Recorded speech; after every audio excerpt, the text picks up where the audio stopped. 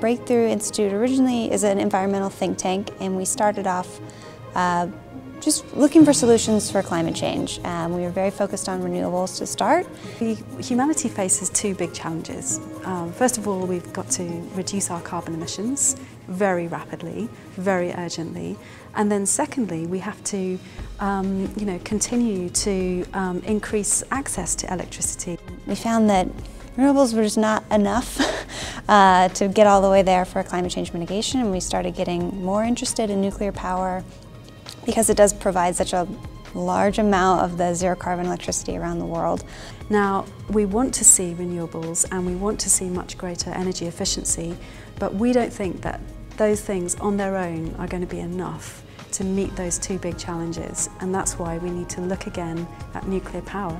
Nuclear is one of the best solutions for climate change. and scales really fast. Um, it can provide a lot of power um, at a pretty low cost compared to other low carbon energy sources. So.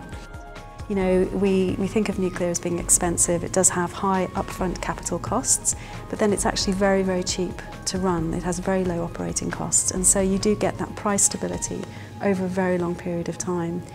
So I think whenever you're sort of making the case for different energy mix, in, you know, it's important to understand what people's priorities are. And for some people it will be carbon emissions, for other people it will be price, and for other people it will be a sense of energy security.